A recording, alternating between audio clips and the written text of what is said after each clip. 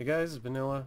Um, I'm working on some tutorials here and I would just like to share with you uh, so that you don't have to struggle through the nightmare of figuring out um, UDK on your own. Now what is UDK? UDK is obviously a game creation engine, Unreal Development Kit. Uh, it's vast, you can basically do almost anything with it. I'm sure if you're crazy enough, you could probably make some porn. I shouldn't have said that. Anyways. What next? What next? What next? So, you got your spawn points. You know, I'm in FFA game mode right now.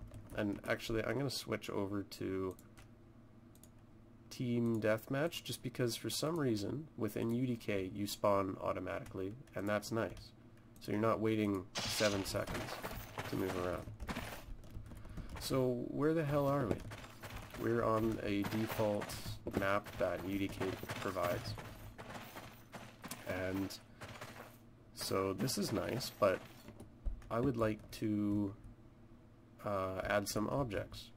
And I, am going to get to landscapes in another another video. I just want to show you some very basic stuff that is just very good to know, very concrete. I'm not going into too much depth as I'm still learning myself. So I'll show you the content browser.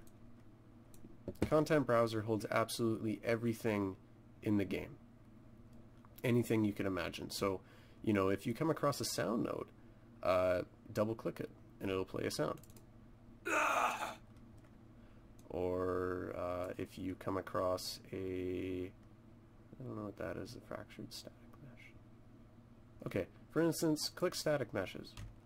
All these things come up. You know, you got a tree. Yay, there's a tree.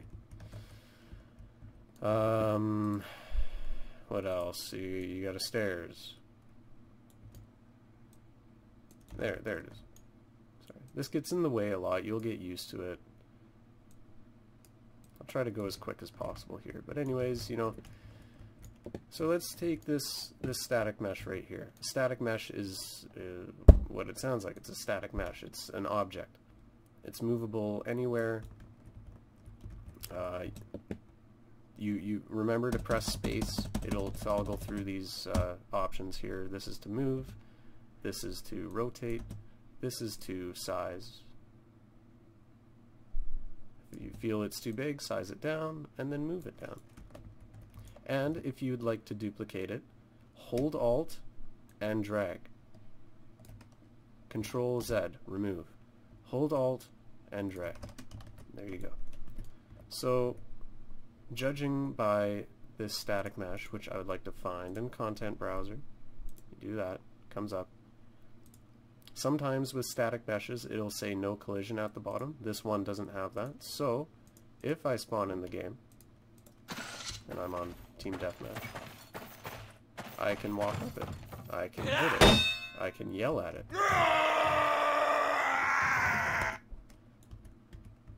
And, for instance, if I would like to maybe, you know, make that as a bridge that goes over, um, drag, transform, the green down here is the y-axis. So according to that, if I transform on the y-axis, it'll flip around. Yeah, it flips around like that. That's just for ease. You know, you don't actually need to do that. Just things I like to do. And let me try this again. So like that, um, rotate 180. Grab these two arrows and nicely place, say there. Obviously it's not you know, greatly aligned or whatever. But anyways, you got a bridge. And, oh, you can go under it. Nice. So it's nice and fancy.